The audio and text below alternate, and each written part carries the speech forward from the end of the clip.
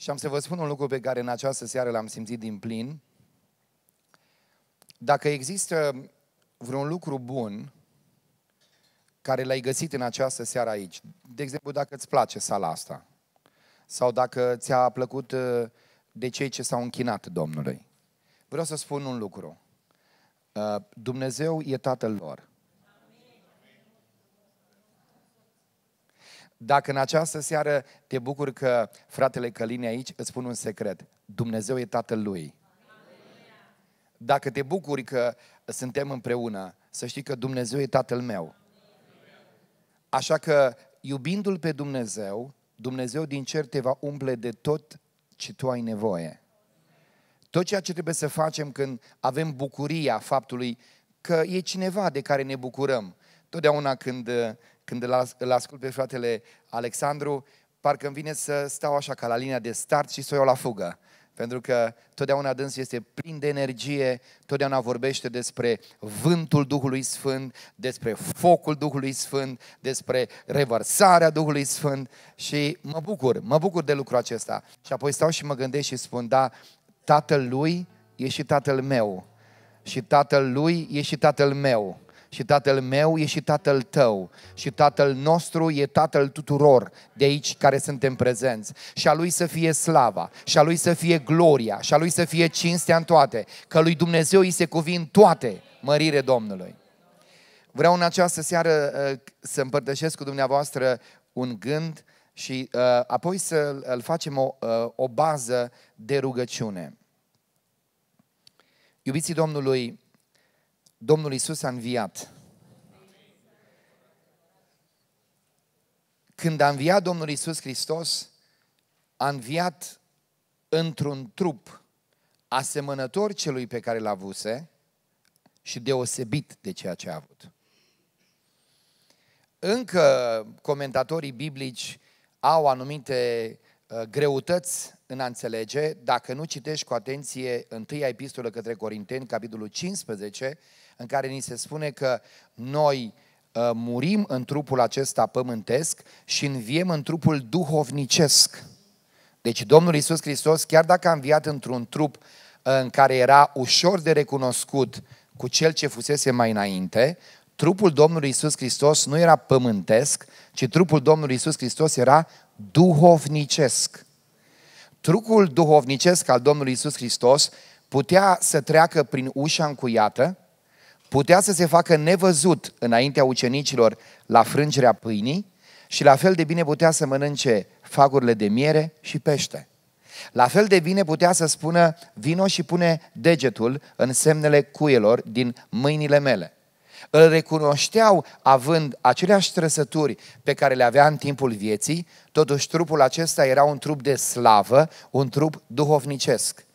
Și asta te ajută să înțelegi că atunci când Domnul te va chema acasă, tu vei avea trupul acesta care va păstra anumite particularități a ceea ce ai însemnat tu aici, dar va fi un trup duhovnicesc, pentru că, deși vei fi recunoscut, tu vei fi într-un trup de slavă.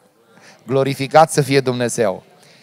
Asta ca să nu creadă cineva asperindu-se și întrebându-se și eu cum voi arăta. Te vor recunoaște cei dragi. Îi vei recunoaște pe cei dragi dar nu vom mai avea reumatism. Nu vom mai avea dureri la articulații. Nu vom mai trebui să ne ridicăm greu de pe scaun. Nu va mai trebui să luăm o mașină ca să... Nu, ci Dumnezeu ne va da un trup duhovnicesc. Și aș vrea în numele Domnului Isus Hristos să vă pun o întrebare și nu întâmplător, stăruind asupra ei, să încercăm să dezlușim în această seară o învățătură foarte frumoasă cu privire la ceea ce s-a întâmplat în Duminica Tomei. De ce?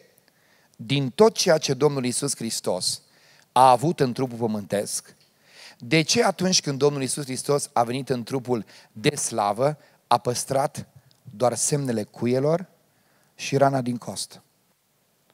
Vedeți, Domnul Isus Hristos putea să păstreze din trupul pe care l-a avut trăsături care să-l facă de recunoscut, Totuși, atunci când Domnul Isus Hristos a înviat, lăudat să fie numele Lui, semnele distinctive ale faptului că El este cel înviat din morți a fost și a rămas rănile.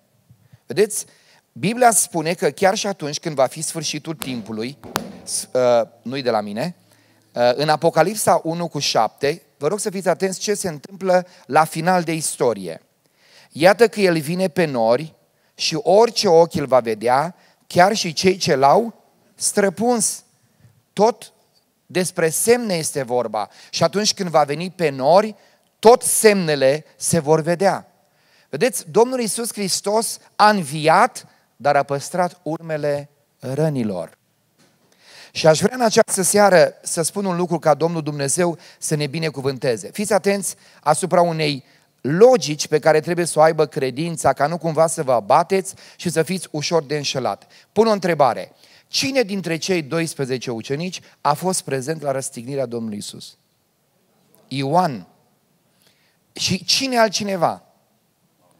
Nimeni, că mama Domnului Isus n-a fost ucenic. Nimeni, doar Ioan. Spuneți amin. Asta înseamnă că Toma n-a văzut cu ochii lui rănile Domnului Isus Hristos. Asta înseamnă că despre rănile Domnului Isus Hristos a aflat de la alții. Cel mai probabil, cred eu, pe baza textului biblic, ucenicii care au zis l-am văzut pe Domnul, au fost cei despre care spune Domnul Isus că la inițiativa dânsului, el i-a chemat și i-a zis, puneți degetul vostru, pipăiți, să vedeți că eu sunt. Și semnul distinctiv al faptului că El este, era, erau rănile Domnului Isus. Vedeți, ceea ce pentru Toma devine un reproș, de fapt, pentru ceilalți ucenici a fost propria inițiativa Domnului Isus. Nu faptul că Toma a pus mâna, ci faptul că Toma a zis, nu cred până nu văd. Asta a fost problema. Vedeți? Toma face lucrul acesta, dar ceea ce este important de știut este următorul lucru. Toma a avut credință că Isus Hristos a fost străpuns în mâini, după spusele altora, dar n-a avut credință că a înviat după spusele altora. N-ați înțeles nimic. Reiau. Toma n-a fost martor al răstignirii Domnului Isus. Toma n-a fost martor al învierii Domnului Isus. El a aflat despre faptul că Isus Hristos a fost străpuns în mâini și în picioare și că uh, lancea romană i-a străpuns coasta de la alții, că numai Ioan a fost la cruce. Orică a zis Ioan, orică au zis ucenicii când vorbeau despre trupul înviat al Domnului Isus, cert este că informația cu privire la rănile Domnului Isus Hristos n-a avut-o văzând cu ochii lui. Dar atunci când a fost vorba ca el să creadă ce au spus ceilalți, e viu. Adică ai crezut ce au spus alții, că a murit, că a fost chinciuit, că a fost ocărât, că a fost străpuns în mâini și picioare, dar n-ai crezut când alții ți-au spus, e viu, a înviat Domnul, l-am văzut cu ochii noștri, a fost prezent. De ce? Pentru că noi, iubiții Domnului, suntem niște oameni fundamental legați de pământul acesta. Avem o tendință naturală de a crede răul și avem o tendință naturală de a nu crede binele. Trebuie o transformare dată de Duhul Sfânt ca să poți crede veștile bune. E nevoie de o acțiune a Duhului Sfânt asupra ta ca să crezi făgăduințele lui Dumnezeu. E nevoie de o putere a Duhului Sfânt ca să stai cu privirea țintită și să spui Domnul meu vine și nu va întârzia și ce a promis Dumnezeu va face. Pentru că fundamental suntem înclinați să credem răul. Suntem înclinați să credem și să, să devenim oameni care prin naturalul lor au tristeți. Prin naturalul tău nu fă nimic. Nu te mai ruga o săptămână și devii trist fără să-ți dai seama de ce ești trist. Nu mai citi Biblia o săptămână și o să devii împovărat și nu o să știi și nu o să mai nădejde și nu o să mai entuziasm. Nu mai veni la biserică o lună și o să te golești de orice nădejde, pentru că tendința naturală a omului e să creadă răul, să dea crezare răului, dar să nu dea crezare binelui, pentru că pentru a crede binele e nevoie de acțiunea Duhului Sfânt, este nevoie de acțiunea Cuvântului Dumnezeu, e nevoie de rugăciune, e nevoie de părtășie Zic și eu în seara asta, Domnul e aici. Dar să vă spun de ce am zis-o. Ca să aud aminul vostru să mă încuraje și eu. Pentru că dacă stai singur acasă Dacă stai singur cu tine, dacă nu mai te întâlnești cu oamenii lui Dumnezeu, vei avea tendința să te izolezi, să auzi din ce în ce mai puternic. Mai întâi vine șoapta celui rău care spune tot felul de lucruri și apoi șoapta devine vuiet și apoi vuietul devine tunet și apoi într-un moment dat începi să dai crezare celui rău pentru că tendința noastră naturală este să nu credem binele, ci să credem răul. Și în această seară am nevoie de Duhul Sfânt ca să spun, o, Doamne, știu că am preț în ochii Tăi, o, Doamne, știu că sunt răscumpărat de tine. O, Doamne, știu că sunt săpat în palmele tale. O, Doamne, știu că sunt scris în cartea vieții. O, Doamne, știu că atunci când deschide gura un nenorocit, Domnul aude! Chiar și atunci când este vorba de a te ridica și a crede veștile care sunt în Evanghelie, tu ai nevoie de Duhul Sfânt. Și să știți că în momentul în care vine cineva și spune Dumnezeu te iubește, pare un lucru banal, dar numai prin Duhul Sfânt poate să spună vorba asta și veștile bune pe care oamenii le spun și mângâierile pe care le aducem unii, unii altora, chiar dacă par uneori banale, chiar dacă uneori pare rostite așa fără să, să, să, să fim prea prezenți, ele vin prin Duhul lui Dumnezeu. Mărire Domnului! Mărire Domnului! Am vreau să spun un lucru ca să înțelegeți. Doamne ajută-ne și binecuvântează-ne. Domnul Iisus Hristos a știut că cel mai cumplit șoc pentru ucenicii dânsului a fost nu numai moartea, ci mai ales modul cum a murit. Mi s-a părut uluitor. Eu vă spun personal, sunt, sunt, uh, sunt extraordinar de, um, de, uh, de, de îndrăgostit de două personaje din Biblie. Uh, în afară de Domnul Isus, e vorba despre Ioan Botezătorul, sunt fascinat de Ioan Botezătorul, și de Apostolul Pavel. De Ioan Botezătorul sunt fascinat pentru că eu, de regulă, trăiesc așa într-un timp al periatului. Hai cu mama, hai cu tata, nu poți să vorbești cu oamenii într-un mod radical, nu poți să vorbești cu oamenii uh, în, în așa fel încât să spui un adevăr din acesta de, nu, nu, trebuie să iei cu grijă, că toți sunt fragili, hipersensibilitatea timpului a venit Ioan și a zis, pocăiți-vă! Doamne, când mă uit, zic, aleluia, deci așa predic aș ține și eu, că nu-i nevoie să ții o oră, dar a zis, pocăiți-vă că se apropie împărăția lui Dumnezeu. Și când s-a uitat la ei, cine știe ce o fi avut în ochii lui, cum o fi rostit cuvintele acestea, că tremurau toți și fascinat de modul cum predica Ioan, aspru. S-a uitat la ei și noi le spunem, iubiții Domnului și așa, pui de nepârci, cine va învăța să fugiți de mânia viitoare? Deci fascinat de Ioan Botezătorul. Sunt fascinat pentru că omul acesta a venit cu așa o putere, cu așa o determinare. Sunt convins că în timp ce vorbea, vedea ceea ce mulți nu vedeau și Duhul lui Dumnezeu era peste el. Și a avut impact bun, sigur, a născut și niște reacții, ca și Domnul Isus, ca și Ștefan. Întâi un martir scrâșneau din dinți când vorbea el, literalmente. Acum, de ce sunt fascinat? Sunt fascinat, dar uitați-vă, am fost scutremurat, să mă iertați că vă spun, eu mă gândesc așa, că noi avem un anumit tipar de gândire. Să fiți atenți la ce vă spun. Sunt pocăită. De 25 de ani. Vin la biserică de 25 de ani. Postesc, mă rog, sunt credincioasă. Domnul va fi cu mine. Domnul mă va ajuta. Domnul îmi va da o casă fericită. De ce vă uitați la mine ca și cum n-ați ști despre ce vorbesc? Avem această mentalitate și gândire tributară faptului că dacă noi facem, Dumnezeu face. Până la un punct este corect, nu poți să spui Dumnezeu nostru e drept, ține cont de toate ostenelele noastre. Dar uitați-vă ce vă spun. Vine fica Irodiadei, în mijlocul unora care erau beți și începe să danseze. Ăștia sub aburii alcoolului încep să se transforme și în momentul acela Irod zice, cerem ce vrei și îți dau. Și sfătuită de mama ei, cere capul omului lui Dumnezeu, despre care însă și Biblia afirmă, e cel mai mare om născut vreodată din femeie. Și omul acesta cel mai mare născut vreodată din femeie ajunge nu doar să moară, dar capul lui să fie purtat pe o tipsie de argint ca pe un trofeu în mijlocul aburilor alcoolului, în mijlocul unui desfrâu greu de imaginat. Și asta e de natură să scutremure firea, să scutremure modul în care îl gândești pe Dumnezeu, pentru că idoma în viața unora cad niște capete, cad niște vise, se năruie niște așteptări și în momentul în care ai, faci, ai, ai, ai pur și simplu realitatea crudă în față, te clatin pentru că nu doar moartea, că ne așteptăm să murim, dar modul cum moare Ion Botezătorul este zdruncinător pentru cei ce înțeleg credința. Păi cum omul ăsta, cel mai mare născut din femeie, ajunge să sfârșească în felul acesta și ne clătinăm. Dar ascultați-mă, am o veste bună. Iisus Hristos, din tot ce putea să ia cu sine când s-a ridicat din mormânt,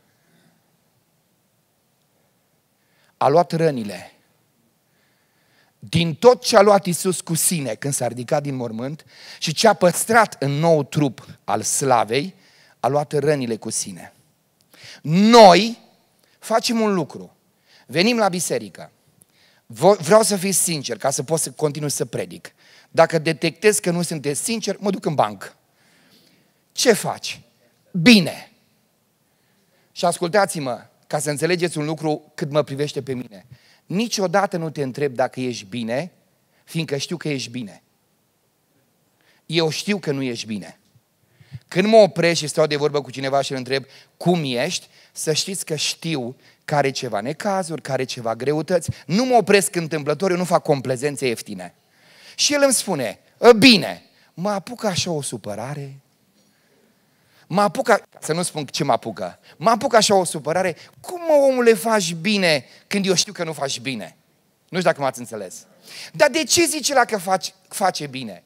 De frică, de rușine, de, datorită faptului că ne-am învățat o viață întreagă să ne ascundem rănile, să ne ascundem plânsul, să ne ascundem vulnerabilitățile, să ne ascundem neajunsurile, să ne ascundem lucrurile slabe ale vieții noastre. Și ascultați-mă, vă spun în numele Domnului Isus Hristos, să știți că și eu sunt slab, la fel cum știu că și voi sunteți slabi. Să știți că și eu sunt un om care câteodată mă clatin, cum și eu știu că și voi câteodată vă clătinați. Și n-ar mai trebui noi să, să, să, să mergem în această nesinceritate. Dintre toate lucrurile care putea să le ia cu el, Hristos când a înviat, a luat rănile, le-a arătat motivul sau dacă vreți, acele, acele imagini care au tulburat credința, acele imagini sfâșietoare care i-au golit de nădejde. Hristos le-a luat și prin înviere a făcut din ele altceva decât vroia să facă viața.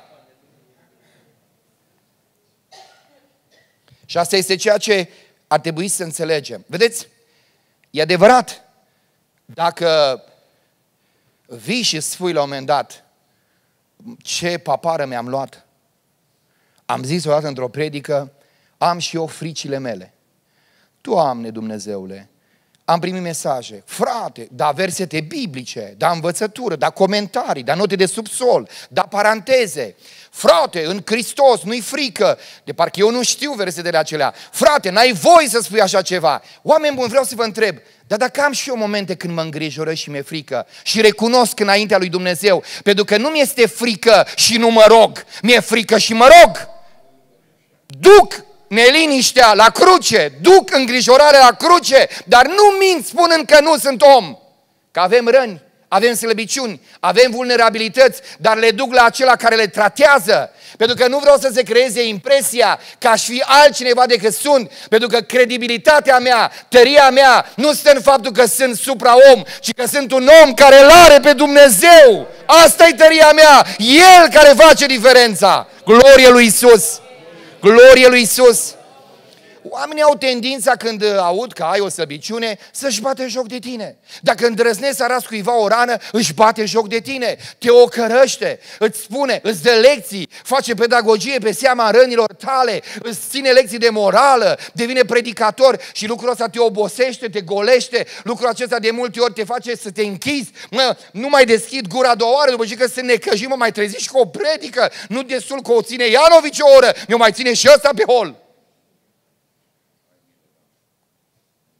Și nu-ți mai arați rănile.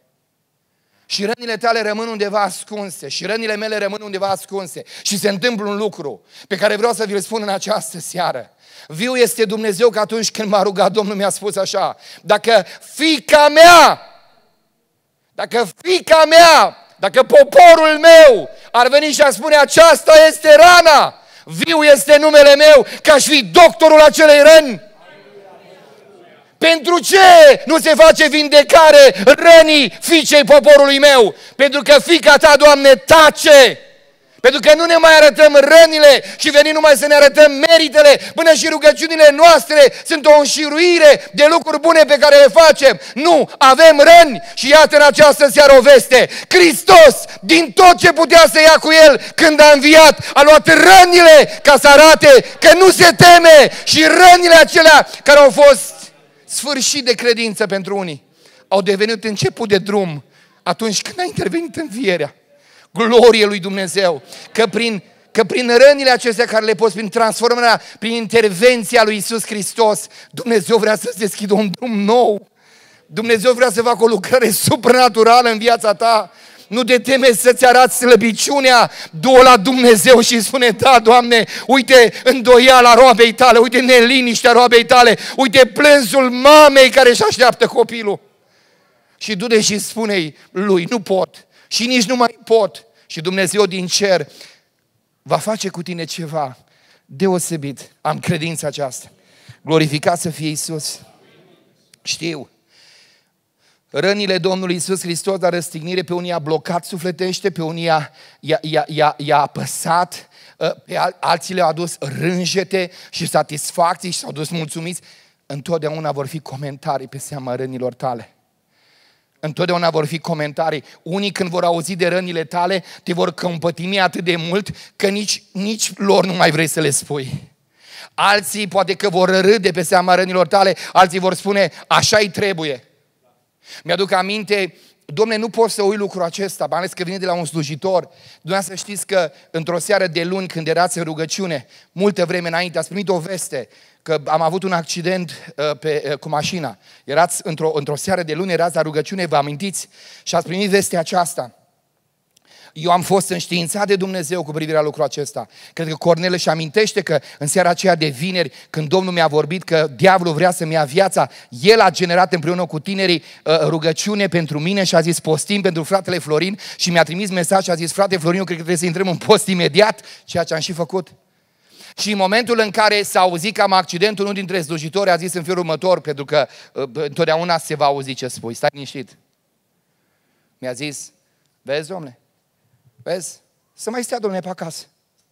Tot umblă așa, în stânga și în dreapta. Da, să mai stea pe acasă. Vă spun în numele Domnului Isus Hristos. Dumneavoastră știți cât, cât, cât îngheț sufletesc mi-a adus? Și m-am dus înaintea lui Dumnezeu și am zis, M-am gândit, zic, Doamne, are dreptate, poate are dreptate, că normal, am, cu cât alergi mai mult riscul de a ți se întâmpla una sau alta, se înmulțește progresiv, nu trebuie să fim copii, să nu înțelegem. Dar eu te întreb în numele Domnului Isus Hristos, de coajă de banană ai auzit? Și ce ai auzit? Că, da? Ați, ați înțeles? Știți cum m-am scuturat de durerea aceasta? Am zis așa, dar ce, firul vieții mele e în mâna omului? Dar ce e o întâmplare, ce se întâmplă cu mine, până și firii, firele de păr de pe cap îmi sunt numărate. Și Dumnezeu de când m-a adus în lumea aceasta știa care este firul zilelor mele și numărul zilelor mele și am credința necontenită că Dumnezeu din cer le știe pe toate și Dumnezeu din cer e la aceea care veghează asupra tuturor lucrurilor. Și m-am scuturat de lucrul ăsta. Da, mi-a fost greu și atunci uh, mi-am zis, uh, ia să nu mai mi-arăt eu rănile unuia și altuia care se mai la 11 metri. Și și și am făcut când am spus lucrul ăsta. Hristos a zis, dacă tu n-ai răni, eu n-am alifie. Dacă tu n-ai răni, eu n-am doctorie. Dar dacă tu ai răni, eu am doctorie. Dacă tu ai răni, eu am balsam. Și în loc să viu, să viu vindecat, m-am ascuns cum facem toți, că am învățat să ne ascundem din pricina ceea ce ni s-a întâmplat când am vorbit despre rănile noastre și oamenii ne-au luat peste picior. Ba uneori chiar mila exagerată a celor din jur te-a făcut să nu mai vorbești pentru că și asta e greu de dus. O, oh, vai, o, oh, vai, nu, noi avem nevoie de altceva, avem nevoie de o măsură de credință, de înțelepciune, de echilibru ca să putem merge înainte și să spunem da, vezi Florine, Dumnezeu a fost cu tine, de aceea spun mergi înainte, că dacă te-a scăpat aici te va scăpa și data viitoare. Și avem nevoie de acest echilibru. Și avem nevoie de această modalitate de a cumpăni credința în felul ăsta. Viu este Domnul. Viu este Domnul. Și acum ascultați un lucru care e important să-l facem și să-l înțelegem. Ajungi la un moment dat în viață să-ți ascunzi rănile datorită modului foarte dureros în care oamenii au reacționat vis-a-vis de ele și se întâmplă un lucru care vreau să vi-l spun. Uh, vom face un mic exercițiu medical. Nu știu dacă Dana e aici. Dana, ești aici? Nu e aici, Dana. Mă simt liber. Dana e doctor. Fiți atenți. În momentul în care oamenii reacționează vis-a-vis de rănile tale în felul ăsta, să știi un lucru. Cum reacționează oamenii vis-a-vis de rănile tale, rămâne imprimant în mintea ta.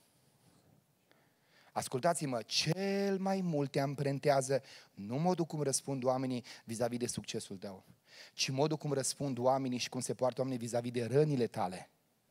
Când ai rănile acestea și modul cum reacționeze ei rămâne impregnat în mintea ta. Și modul cum oamenii reacționează este modul în care tu începi să te vezi pe tine însuți. Sunteți aici? Intenția mea, a zis Moise, a fost să apăr pe frații mei. Și am luat apărarea fratelui meu, chiar omorând pe cel care a fost agresorul fratelui meu și opresorul fratelui meu.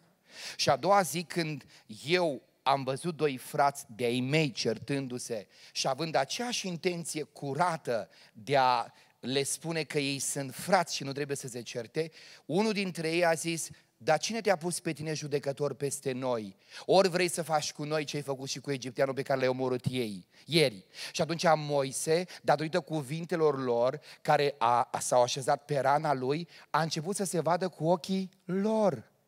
Și în momentul când s-a văzut cu ochii lor, a luat-o la goană și s-a dus în pustie, pentru că pustia noastră nu este altceva decât locul unde ajungem, pentru că ne vedem prin ochii celorlalți și trăim după reacțiile celorlalți și ne lăsăm conduși de ceea ce spun alții că ar trebui să facem sau suntem.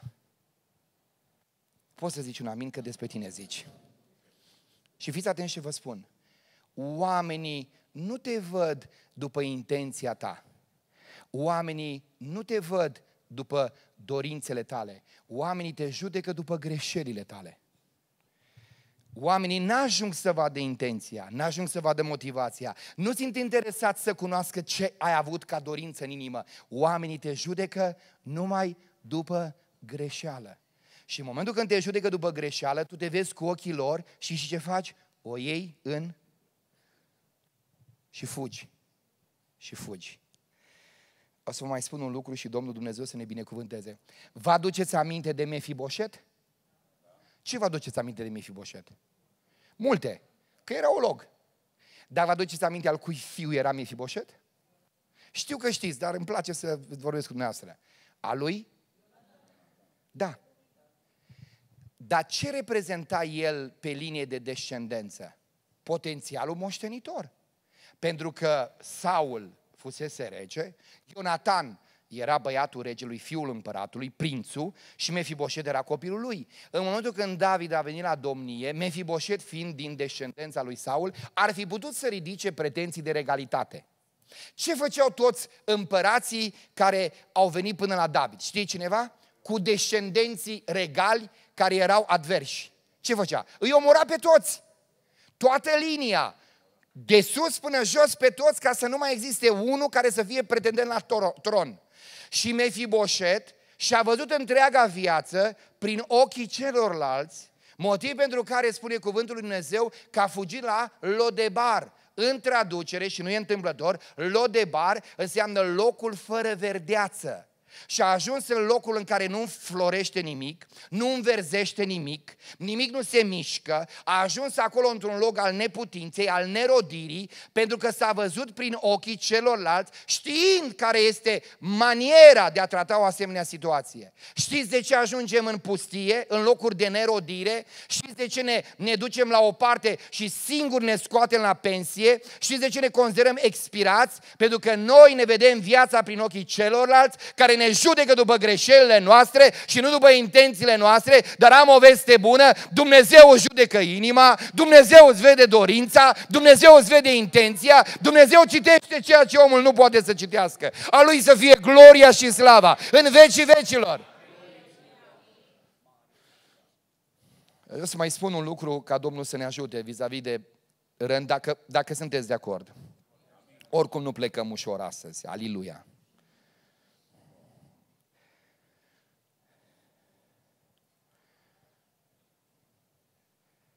A fost Domnul aici, l-am văzut, au zis ucenici. Și Toma a zis, eu nu cred până când, a zis până când. Nu e o îndoială a necredinciosului, este o îndoială a credinciosului care vrea să creadă, dar nu poate, că s-a blocat. E o, do- e o, e o diferență. Și ce a făcut Domnul Isus Hristos? Când Domnul Iisus Hristos a venit, vă rog să fiți foarte atenți, i-a repetat aidoma, punct cu punct, virgulă cu virgulă, fix cuvintele pe care le-a zis cu voce tare în fața ucenicilor. Eu nu cred până când nu o să văd semnul cuielor, până nu pun degetul meu în semnul cuielor, până nu pun mâna mea în coasta lui, Hristos a venit Tomo, vino să vezi semnele cuilor, vino să pui degetul tău în semnul cuilor, vino să pui mâna ta în coasta mea. I-a repetat Aidoma, pentru că Dumnezeu din cer aude tot. Dar nu afli luni, nu afli nici marți, nu afli nici miercuri, că el a, el, a, el a înregistrat tot ce ai spus cuvânt cu cuvânt nu afli nici joi, nici vineri, nu afli nici sâmbătă, o afli când vrea El. Ai... Stai puțin, Toma, și așteaptă. Deși Dumnezeu a auzit tot, deși Domnul Iisus Hristos l-a auzit pe Toma când a rostit cuvintele, l-a lăsat să... Doamne, am rândile astea, nu mai pot, vindecă-mă, mă ustură sufletul, rana unui bărbat nebun, rana unor copii răzvrătiți, rana unei sărăcii care nu mă mai părăsește, rana unor relații conflictuale, rana unei tristeți care nu mai pleacă de la mine. Și Domnul Iisus Hristos spune, din prima zi de când ai strigat, ți-am cunoscut rana. Dumnezeu din cer spune, nu-ți răspund luni, nu-ți răspund nici marți, Știți care e marea problemă la Dumnezeu? Că uneori nu răspunde nici duminică. Răspunde când vrea El. Răspunde când vrea El. Răspunde când vrea El, pentru că al Domnului este cerul, pământul cu tot ce este pe El. Binecuvântat să fie Domnul. Dar ce se întâmplă în intervalul ăsta? Fiți atenți. Iubiții Domnului, dumneavoastră aveți uneori sentimentul că Dumnezeu din cer vă socoate biruitori când dumneavoastră mergându-vă toate bine, explodați în rugăciune și strigați din adâncul plămânilor. Trăiască Domnul, stânca mântuirii mele, paharul meu este plin de, de peste el. Și atunci considerați că Domnul Iisus, uitându-vă la voi, spune 10, 10, nota 10, nota 10, nota 10. Fiți atenți. S-ar putea să nu fie așa. Nota pe care o primești de la Dumnezeu e nota reacției tale în timpul așteptării între ceea ce este rană și ceea ce înseamnă răspunsul lui și vindecarea lui. Dumnezeu s-a uitat la Toma și cred că Toma, după ce a spus cuvintele astea, luni s-a ridicat, s-a dus până la șifonier, acum eu exagerez, a deschis șifonierul și a zis, ah, e aici cămașa pentru duminică, că nu știam dacă e aici, să fie pregătită. Marți s-a dus din nou la șifonier, s-a uitat și a zis, ah, și costumul e aici. Miercuri se uita după pantofi, n-ați înțeles nimic. ca să fie pregătit pentru duminică. Dacă zilele ce trec te golesc de credință, îți măresc desnădejdea, îți alimentează amărăciunea, va întârzia Domnul, va întârzia Domnul, va întârzia Domnul. Dar dacă cu fiecare zi de așteptare spui, eu de tine nu mă las, am plâns ieri, plâng și azi, am strâns din dinți ieri, strâng și azi, te-am lăudat ieri, te lau și azi, nici ieri n-am știut ce faci, nici azi nu știu, dar tot înainte merg, Dumnezeu din cer scurtează timpul. Dumnezeu din cer scurtează timpul. Ce faci în timpul așteptării, ce faci în timpul în care Iisus Hristos vine între intervalul rănii despre care ai vorbit și a vindecării pe care o pregătește, ăsta este timpul golirii tale sau umplerii tale, examenul tău, este modul în care Dumnezeu îți definește ființa ta. Domnul să ne ajute și Domnul să ne binecuvânteze. Și aș vrea în numele Domnului Iisus Hristos să vă spun un lucru minunat. Fiți atenți. O și o să spui, și totuși, Doamne, de ce așteptarea asta atât de dureroasă? Hai fiți cu mine sinceri în această seară și hai să spunem din adâncul plămânilor, of, nu spuneți că e ușoară așteptarea, oameni buni. Nu, e grea. E foarte grea, da? Pentru că în timpul așteptării îți trec tot, toate felul de, de gânduri prin cap. Ce greșesc, unde nu merge bine, ce trebuie să corectezi și în fiecare zi stai cu ochii pe tine și ascultă-mă, cu cât îți dorești să fii mai sfânt, cu atât ți este mai puțin câteodată. Cel puțin asta e tendința pe care o vezi. Adică te corectezi și vrei să, să recuperezi repede, să fii pregătit și cu cât te sfințești mai mult, cu atât găsești că e mai greu să fii sfânt. Și numai Dumnezeu, pentru că ascultați-mă, sfințenia este într-un duc de odihnă. Cu cât te străduiești mai mult, cu atâta tendință să greșești mai mult. Ascultați-mă ce vă spun. Pentru că în momentul ăla începe teama să, să, să-și facă loc în tine. Întotdeauna să știi că un om relaxat, odihnit, un om care se poartă natural, lucrurile ies mult mai bine decât unul care e panicat. Panicat, sunt panicat, mă sfințesc, sunt panicat, mă sfințesc. Te sfințești, dar nu-ți iese. Bun, acum nu vreau să exagerez cu asta, dar înțelegeți vă ce vreau să spun. Acum, ce este important este lucrul ăsta. Domnul Dumnezeu are un motiv pentru care se întâmplă așteptarea asta. Când așteptarea asta o îngăduie în viața prea scumpilor și prea iubiților lui, și sunt mulți în această seară și pe internet care ne urmăresc și pe care le vorbesc în această seară, spunându-le că așteptarea asta e chinuitoare, dar se întâmplă ceva. În momentul în care așteptarea aceasta se sfârșește, tu nu vii de la minus la zero. Sunteți aici? Tu nu vii de la minus la zero, tu vii de la minus la plus. Pentru că Toma nu va mai pune niciun deget. Nu va mai pune niciun deget. Când Hristos i-a apărut, l-a văzut cu ochii lui și a spus și a spus, cred că numai faptul că i-a reprodus cuvintele ad literam, la, la străpun sufletește, el n-a mers de la minus la zero, adică hai să pipă, hai să văd. El a mers de la minus la plus. Pentru că el a făcut o afirmație uluitoare pe care n-a făcut-o niciun ucenic și datorită lui Toma putem și noi să stăm azi în picioare să spunem că Isus Hristos este Dumnezeu din Dumnezeu adevărat? Pentru că, pentru că Toma a avut revelația Dumnezeul meu! N-a mers de la minus la zero, a mers de la minus la plus, a mers de la îndoială la revelație, a mers de la îndoială la închinare, a mers de la îndoială la exclamație, a mers de la minus la plus nu la zero. Și așteptarea e timpul care te sensibilizează și te pregătește pentru o revelație care va schimba viața și nu numai că vei recupera de la minus la zero, te vei duce de la un mare minus la un uriaș plus. Și toate acestea datorită faptului că te pregătește așteptarea pentru revelația care va schimba nu doar viitorul tău, ci și viitorul celor din jurul tău. Ce îți va da Dumnezeu în ziua când se va înfățișa ție, după ce ai așteptat, va fi de folos nu doar ție, ci multora din jurul tău. Glorificat să fie Isus și preamărit să fie Domnul. Slăvit să fie Domnul Isus Hristos. Aleluia! Știe cineva din ce ne-a făcut Dumnezeu pe noi? Noi, pe noi omul. Din cea mai neînsemnată materie călcată în picioare, murdară, nu mă aude cineva ce spun eu, din cea mai murdară materie călcată în picioare, din praful ăsta și când Dumnezeu ne-a zidit și ne-a făcut, s-a uitat, om fi fost așa o, o din asta de lut, arătam cum arătam și ascultați-mă ce vă spun. Ceea ce a făcut diferența este următorul lucru. Uf, și a suflat suflare de viață. Dumnezeu din cer îți spune ce vezi cu ochii tăi acum și zici că e nedesăvârșit, ce vezi cu ochii tăi acum și ți se pare că este prost, ce vezi cu ochii tăi acum și ți se pare că este imposibil de crezut, așteaptă ziua când va sufla El și vei vedea ce iese. Că ai fost făcută din țărână și țărâna asta, după ce a făcut-o Dumnezeu, nu arăta bine. Dar când a suflat, ceea ce era neînsuflețit a avut viață, ceea ce era neestetic a devenit estetic, ceea ce era de neprivit a devenit de privit și am devenit ce? Am devenit lucrarea mâinilor Lui, am devenit aceea despre care Hristos, Dumnezeu Dumnezeu a zis, iată că toate lucrurile sunt foarte bune. Glorie lui Dumnezeu!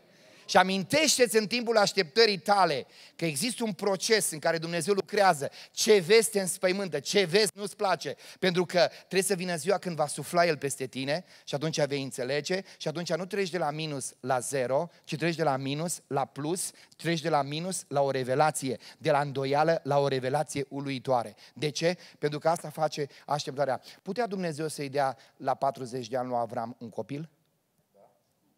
Bineînțeles. Putea să-i dea? Zic 40 pentru că tinerețea în vremurile acelea era 40. Oamenii trăiau vreo 120 de ani. Da? Ați înțeles ideea. Putea să-i dea? De ce nu i-a dat? Pentru că Avram, când s-a dus în Egipt, a zis, hai Agar, hai, hai Agar, hai, Agar, hai.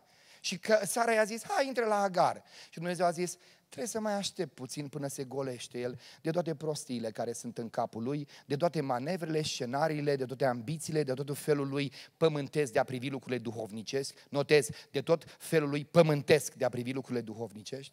Și până când nu te golești, Dumnezeu te ține în așteptare, pentru că trebuie să te golești de tot felul tău de a gândi despre cine, cum și ce face El tu trebuie să spui lui Dumnezeu în felul următor, ești Dumnezeu, fă cum știi tu, aleluia, ești Dumnezeu, mă închin, nu spun nimic, tac și aștept în tăcere. Nu mai dau lecții nimănui, nu mai spun nimănui ce și cum face Dumnezeu, pentru că Dumnezeu nu-și împarte gloria cu nimeni, dar un lucru știu, El e Dumnezeul care aude, e Dumnezeu care știe, e Dumnezeul care vede, e Dumnezeu care ia aminte. Glorie lui Isus. Mărire Domnului. Mărire Domnului. Dacă în prima parte te vedeai cu ochii celorlalți care te judecă după greșelile tale și după intenția ta, acum în perioada de așteptare, Domnul te ajută să te vindești de modul cum te privești tu. Mhm. Marea problemă a lui Dumnezeu e că prea știi cum este Dumnezeu. Nu știi, ți se pare. Până nu te golește Dumnezeu și te vindecă de modul în care crezi tu că... Și poezia aia lui Ionit, nu? S-au întâlnit toți, toți orbii care au fost vindecați. Nu e adevărat, nu te-a vindecat Isus. Isus nu spune, capătă vederea. Isus ia țărână, scuipă, ți-o pune pe... Știți? Pentru că noi ne uităm la ce? La maniera particulară, la experiențele particulare și credem că prin experiențele particulare noi am dobândit cunoașterea lui Dumnezeu. Închinați-vă lui Dumnezeu și spuneți în felul următor, tot ce știu cu adevărat este că toată puterea este la tine, robul tău se închină, stau, aștept, mă golesc de orice lucru care cred eu că îl știu și mă închin lui Dumnezeu spunând, tu poți tot. Nu știu, tu știi, glorie lui Dumnezeu. Nu știu, tu știi, glorie lui Dumnezeu. Vindecă-te de modul în care te vezi tu pe tine însuți, pentru că Dumnezeu trebuie să te vindece de modul... Ascultați-mă ce vă spun. Ascultați-mă ce vă spun. Eu știu când e har în biserică și când e mai puțin har în biserică. Și a fost odată har în biserică. Și a venit un frate din Ucraina și s-a bucurat până când am bătut din palme. După care a zis nu mai e har. Dar eu cred că harul a fost. N-ați înțeles. Eu cred că harul a continuat să fie dar modul dânsului de a privi credința l-a împiedicat să mai poată primi ceea ce Dumnezeu i-a pregătit. Bine, eu exagerez acum cu bătut din palme, să nu credeți că am vreo cruciadă, nu exagerez, nu-mi place în mod deosebit ca să se înțeleagă. Dar numai vreau să dau un exemplu a faptului că tu ești acela care privești lucrurile în felul în care le privești că Dumnezeu e în adunare, nu poți să-L recunoști, pentru că ochii tăi care văd într-un fel lucrurile te împiedică să vezi prezența Lui. Ați înțeles? Ați înțeles? Ce face Dumnezeu în perioada asta de așteptare? Te vindecă de modul cum privești tu credința. Că ascultați-mă, este o mare problemă când ne luăm în cap și avem impresia că ce știm noi nu mai știe nimeni. Că ce am trăit noi nu mai trăi, n-a mai trăit nimeni. Că noi suntem aia care știm toate. Că noi, pocăiți ca noi, n-am mai văzut Dumnezeu în nicio generație. Ascultați-mă ce vă spun, smeriți-vă sub mâna tare a lui Dumnezeu și în perioada asta de așteptare, goliți-vă de orice ați știut vreodată și ați cunoscut și spuneți așa, sunt deschis revelației tale. Sunt deschis să faci cu mine ceea ce eu nu am lăsat să faci. Nu mă mai încăpățânez în lucrurile mele, ci sunt deschis să lucrez cum vrei tu. A apărut Hristos și l-a luat de la minus, nu la zero, l-a luat de la minus la un mare plus. Glorificat să fie Iisus. Strigați aleluia, amin, glorie lui Dumnezeu. Acum când stai în așteptare, recreionează modul de a privi și spune așa, nu m-a părăsit, nu m-a uitat, nu că nu-i pasă de mine, mă pregătesc de o mare revelație. Aleluia! Atunci cu totul se schimbă viața, nu? Mă pregătesc de o mare descoperire. Mă pregătesc, nu credeți lucrul ăsta, bă, eu lucrez din toată inima.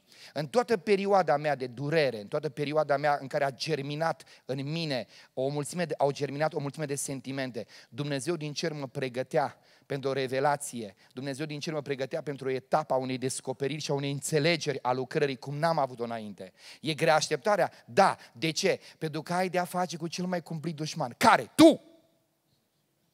Greu e să lupți cu tine, că n-ai cum să te nervezi pe tine. Mai dai vina pe altul, dar e greu să ai de-a face cu tine, că ce să mai zici? Nu, no, deci, da, ați înțeles? E greu. Cel mai greu dușman ești tu, pentru că prejudecata, modul tău limitat de a vedea, pretențiile tale că ai înțeles, lungesc perioada de așteptare. Nu?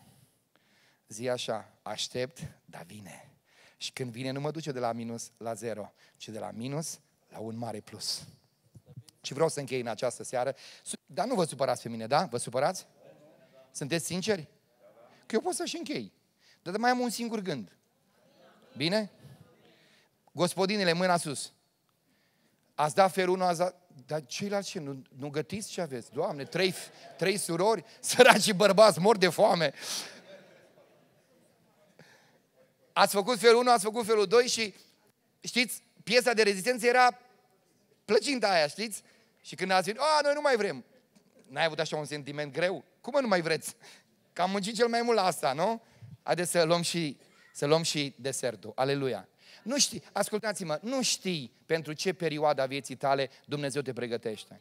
Nu știi pentru ce timp îți vorbește. Poate că acum ai sentimentul acesta, mă le știam, mă chiar n-am nevoie de ele, mă aș vrea să mă rog. Ascultă-mă ce spun. S-ar putea ca în câteva zile să te întâlnești fix cu ceea ce în seara asta ți-am spus și să ai din partea lui Dumnezeu o înțelegere a unor lucruri care să-ți dea puterea să nu fii doborât.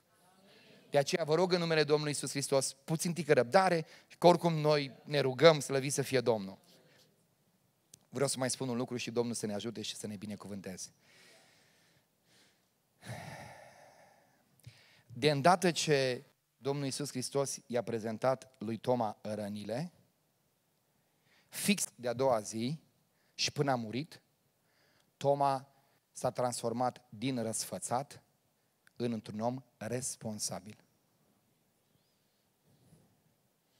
Fix din momentul în care Domnul Iisus i-a arătat rănile pe care nu le-a mai pipăit, a devenit un om responsabil. Pentru că rănile Domnului Iisus Hristos sunt pentru zilele acelea de mare tulburare, când Dumnezeu îți spune să nu-ți fie rușine să spui ce te doare, ci să vii la mine să, să-mi spui ce te doare. Și nu-i niciun titlu de glorie să vă ascundeți durerile, pentru că prin acestea voi rămâneți nevindecați prin faptul că vă ascundeți durerea, de aceea nu-i alifie zilele, rănile sunt pentru ca să înțelegi că în timpul așteptării Dumnezeu vrea să te golești de tot ceea ce credeai că știi și îți închipui tu că e Dumnezeu. Dar Dumnezeu în această perioadă de așteptare, dacă te transformi cum vrea El, nu te duce de la minus la zero, ci de la minus la un mare plus. Dar rănile Domnului Isus Hristos mai înseamnă un lucru. Eu n-am să mai trăiesc cum am trăit ieri. Încăpățânat, supărat, mofturos, într-un colț, nu cred, nu, nu, nu, nu, nu. De mâine mă duc și spun tuturor că Dumnezeul meu trăiește.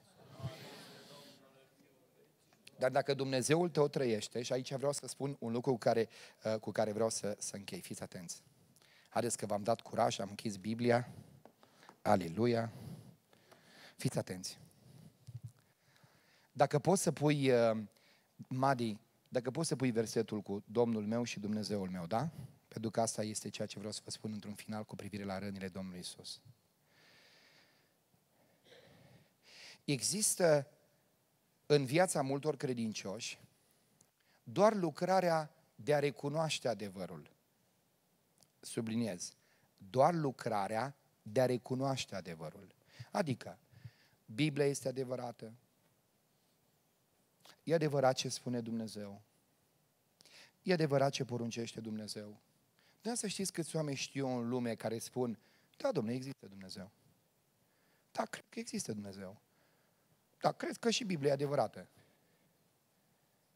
Și atunci, dacă spui că Biblia este adevărată și recunoști adevărul, asta te duce în rai? Și dracii cred. Și vor fi mântuiți? Uh-huh. Nu. De ce? Pentru că mulți spun, există Dumnezeu. Și mulți spun, e Dumnezeul meu. Unii spun, e al meu, alții sunt bai al meu, alții sunt bai al meu, alții sunt bai al meu. Și fiecare crede că are Dumnezeu al lui. Dar să spui că există Dumnezeu e doar o recunoaștere a adevărului. Poți să vii o viață la biserică să citești Biblia și să, și să crezi ce este scris acolo, nu te va aștepta cu nimic în veșnicie dacă tu nu vei împlini ce e scris. A recunoaște adevărul nu-i deoduna cu a trăi adevărul. A trăi adevărul înseamnă să unești cele două.